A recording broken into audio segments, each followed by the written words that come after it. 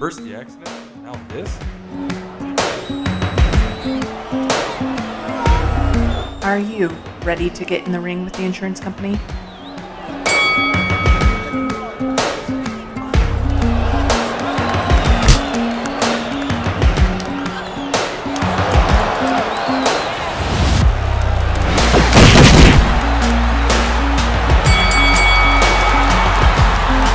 If you've been injured in an accident, don't take on the insurance company alone.